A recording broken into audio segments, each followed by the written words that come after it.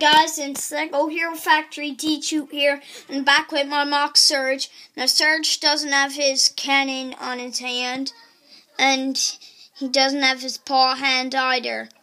So he has his or his grey uh, metal piece, his blue head, his four panel body, and and it's one panel head, yeah.